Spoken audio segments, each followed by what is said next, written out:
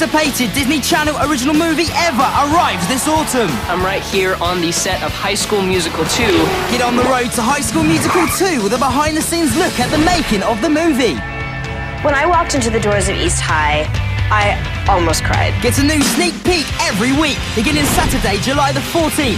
Are you ready to dance? From the dance rehearsals It's fabulous! to the roll of the camera Action! to all of the on-set surprises and secrets. I probably shouldn't have told you that. Your exclusive pass to the set of High School Musical 2. we are really stepping it up a notch.